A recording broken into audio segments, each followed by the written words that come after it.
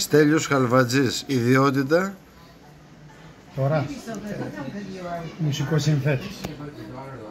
Είπα εγώ στην αρχή μουσικός, είπε εσύ συνθέτης, μουσικός.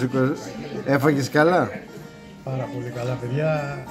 Σίγουρα πρέπει να το επισκεφτείτε. Καταπληκτικοί μεζέδες, ψάρο μεζέδες, σε μια φανταστική ατμόσφαιρα. Φάγαμε, φάγαμε. Γαλέος κορδαλιά, σαρδέλα, σαλατούλα, χταπουδάκι και εδώ αυτό φαγώθηκε ήταν λουλουδοκεφτέδες. Κολοκυθο... Όχι, κολοκυθολούλουδα. Ανθή, ε.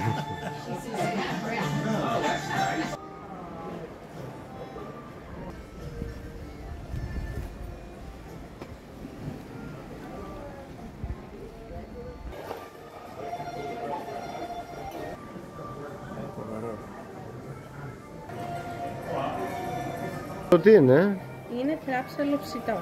Πω, καταπληκτικό, αχνίζει κιόλας. Σ' αρέσει τέλειο εδώ, ε; Εκπληκτικά και εδώ είναι ωραία να κάθεσαι καλοκαίρι, ε. να έχεις ζέστη 40 βαθμοί, να έχεις 40 βαθμοί και να κάθεσαι εδώ και να τρως το ψαράκι σου το φρέσκο, το φρέσκο ψαράκι. Καταπληκτικό.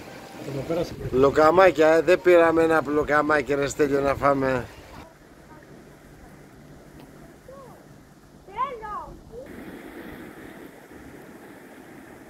Εντάξει, εκπληκτικό το μέρος και ο γλάρος απάνω στην πέτρα είναι ό,τι ψάχναμε. Ό,τι... πε-